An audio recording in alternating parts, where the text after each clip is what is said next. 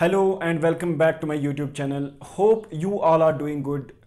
Today we will take the first topic of magnetic resonance imaging that is introduction to magnetic resonance imaging and its history.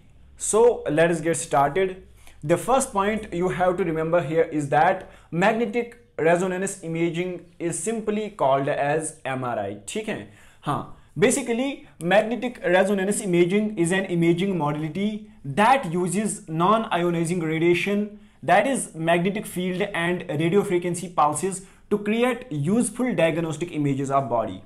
Basically जो magnetic resonance imaging होती है ये एक ऐसी imaging modality होती है जो कि क्या यूज़ करता है non ionizing radiation magnetic fields use होते हैं इसमें रेडियो फ्रीक्वेंसी पल्सेस यूज़ होते हैं इसमें जो कि नॉन आयोनाइजिंग इन नेचर होते हैं, ताकि बॉडी के यूजफुल डायग्नोस्टिक इमेजेस क्रिएट हो जाए। ठीक है?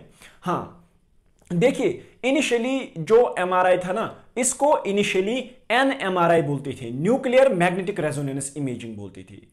क्योंकि उन दिनों ये जो एमआरआई होता था, ये यूज़ किया जाता था केमिकल एनालिसिस और स्पेक्ट्रोस्कोपिक स्टडीज़ के लिए। तो उन दिनों क्या कहते थे एमआरआई को? Nuclear magnetic resonance imaging NMRI लेकिन अगर हम आजकल की बात करेंगे, ये जो न्यूक्लियर वर्ड है, ये ड्रॉप किया गया इसे। क्यों? क्योंकि जो वर्ड न्यूक्लियर है ना, जब लोग न्यूक्लियर वर्ड सुनते थे तो उनको लगता था कि there is something related to radioactivity तो उनको एक खौफ सा पैदा होता था कि इसमें कुछ ना कुछ रेडियो एक्टिविटी का होता है। लेकिन ऐसा कुछ नहीं है।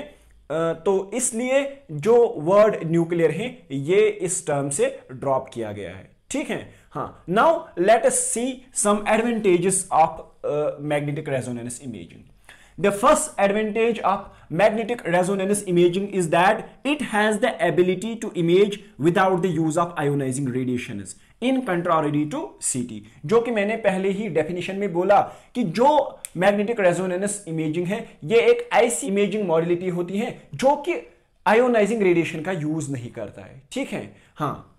दूसरी एडवांटेज क्या है एमआरआई की?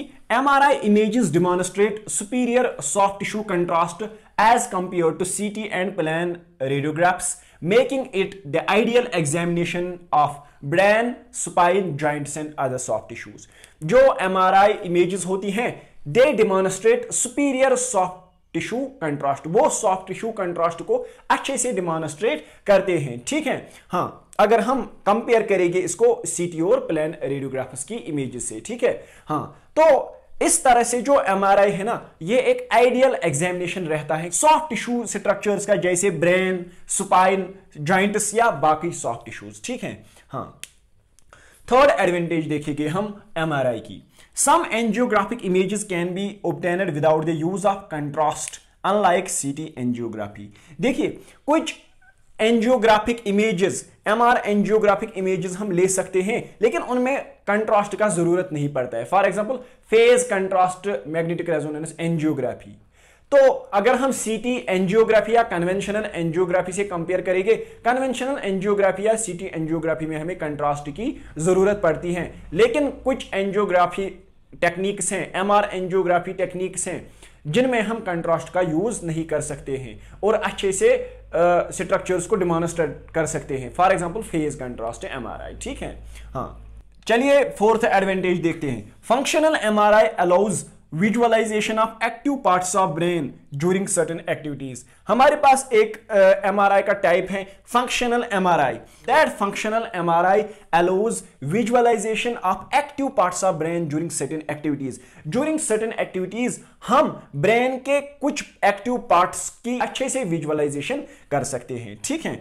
This is the one more advantage of magnetic resonance imaging advance technique such as diffusion MRI, MR spectroscopy, MR perfusion allows for precise tissue characterisation कुछ एडवांस्ड टेक्निक्स हैं एमआरआई की जैसे कि डिफ्यूजन एमआरआई है या MR spectroscopy है या perfusion MRI है।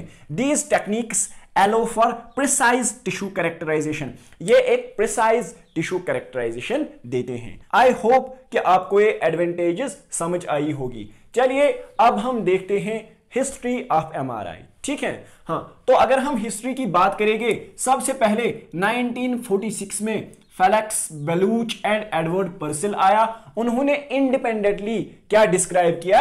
NMR in solids nuclear magnetic resonance उन्होंने सॉलिडिस में डिस्क्राइब की। ठीक है? हाँ for this work they shared Nobel prize in physics in 1952 इस काम के लिए, जो कि इन्होंने क्या डिस्क्राइब किया? Nuclear magnetic resonance in solids इस काम के लिए इन्होंने क्या शेयर किया? इनको क्या मिला? फिजिक्स में इनको नोबल प्राइज मिला 1952 में। लेकिन जो बलोच था, बलोच ने अपनी स्टडी कंटिन्यू की। अभी ये क्या पढ़ रहे थे? अभी ये क्या स्टडी कर रहे थे? Nuclear magnetic resonance in solids इसने अपनी स्टडी एक्सटेंड की। कहाँ तक? NMR in water. इसने न्यूक्लियर मैग्नेटिक रेजोनेंस वाटर में स्टडी किया। हाँ तो इसी बेसिस पे आज का जो एमआरआई है, जो एमआरआई डेवलप हुआ, वो इसी बेसिस पे है। किस बेसिस पे? NMR of water nuclear magnetic resonance of water ठीक है? तो ये जो फेलेक्स बलूच है Felix Bloch is referred to as father of MRI ठीक है? हाँ फादर ऑफ़ एमआरआई तो कुछ बुक्स पे लिखा होता है कि father of MRI is Raymond Damadian that is wrong father of MRI is Felix Bloch ठीक है? हाँ. उसके बाद इन लेट 1960s लेट 1960s में एक और साइंटिस्ट आया रेमोन डेमिडियन तो जो रेमोन डेमिडियन था he was also working with an NMR spectrum ये भी काम कर रहा था एनएमआर स्पेक्ट्रम के साथ. And he showed that normal tissues have different NMR spectrum from malignant tissues इसने क्या दिखाया कि जो नॉर्मल टिश्यूज होते हैं, उनका जो एनएमआर स्पेक्ट्रम होता है, वो मैलिग्नेंट टिश्यूज से अलग होता है. ठीक है? And Damadian producer a crude NMR image of a rat tumour in 1974 in 1974 जो डेमेडियन था, इसने सबसे पहली क्रूड एनएमआर इमेज प्रोड्यूस की? किस चीज़ की? रैट ट्यूमर की। किसकी? रैट ट्यूमर की। यह पूछा जाता है कभी कुबार कि सबसे पहली क्रूड एनएमआर इमेज किस एनिमल से ली गई? That was a rat tumour ठीक है? हाँ। इन 1976 जो डेमेडियन था he produced the first body image इसने ह्यूमन बॉडी की पहली इमेज ले ली and it took almost four hours to produce इसको कितना टाइम लगा? इस इमेज लेने में बॉडी की फ़र्स्ट इमेज लेने में फोर आवर्स कितना? फोर आवर्स ऑल्सो जो रेमोन डेमेडियन था he invented the first MRI machine इसने पहली एमआरआई मशीन या एमआरआई स्कैनर इन्वेंट किया। ठीक है? हाँ।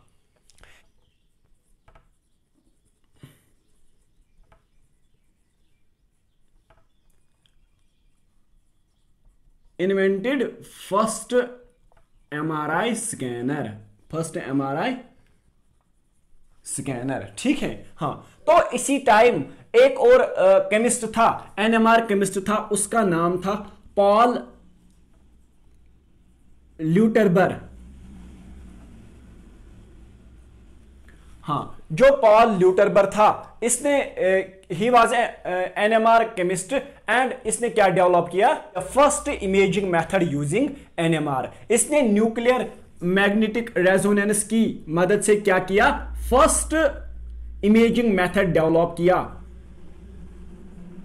फ़र्स्ट इमेजिंग मेथड डेवलप किया, जो कि सिमिलर टू जो आज हम यूज़ करते हैं इमेजिंग मेथड एमआरआई में तो that was similar to that and जो पॉल ल्यूटर बर्ग था ही कॉल्ड दैट मेथड जो इसने मेथड डेवलप किया ही कॉल्ड दैट ज्यूगमेटोग्राफी ज्यूगमेटोग्राफी, ठीक है? हाँ। दिस वॉज़ पॉल ल्यूटरबर इसके बाद एक और साइंटिस्ट आया, उसका नाम था, उसका नाम था पीटर मैनसफील्ड पीटर मैनसफील्ड हाँ पीटर मैनसफील्ड ने क्या किया? Peter Mansfield was also engaged in similar field similar research जो रिसर्च पॉल ल्यूटरबर कर रहा था एनएमआर पे, उसी रिसर्च में पीटर मैनसफील्ड भी इन्वॉल्व था and he developed echo planar imaging इसने EPI echo planar imaging develop की, जो कि आज यूज़ होती हैं। फंक्शनल न्यूरो इमेजिंग में फंक्शनल न्यूरो इमेजिंग में, ठीक है? हाँ। तो उसके बाद इन 2003 इन ईयर 2003 2003 में क्या हुआ? जो पॉल ल्यूटरबर था और मैनसफील्ड था। मैनसफील्ड था। They shared Nobel prize they shared Nobel prize for their discoveries in MRI MRI में जो कुछ डिस्कवरीज की इन्होंने एनएमआर पे तो उनके बेसिस पे concerning those discoveries of MRI Lutterber and Mansfield were awarded Nobel Prize in Physiology and Medicine in 2003. ठीक है? 2003 में। आई होप गाइज़ कि आज का जो ये बेसिक टॉपिक था एमआरआई का introduction and it is history आपको अच्छे से समझ आया होगा। किसी को कोई डाउट होगा, कोई क्वेरी होगी तो कमेंट सेक्शन में लिख देना।